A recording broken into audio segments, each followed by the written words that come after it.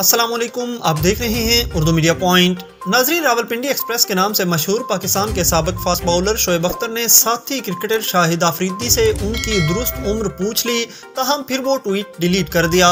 गुजशत रोज़ गूगल पर दर्ज शाहिद आफरीदी की सालगिरह पर उन्हें मद्दाहों समेत साथी क्रिकेटर्स की जानब से मोहब्बत भरे पैगाम मौसू हुए।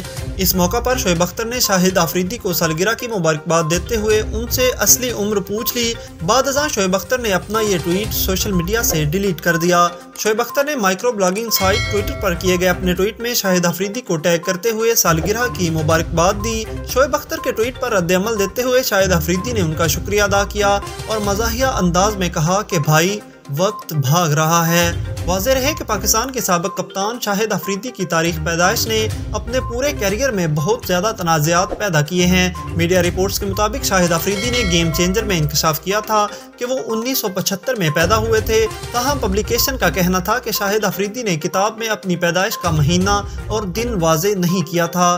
दूसरी जानब सरकारी रिकॉर्ड शाहिद अफरीदी की तारीख पैदाइश यकम मार्च 1980 दर्ज करते हैं।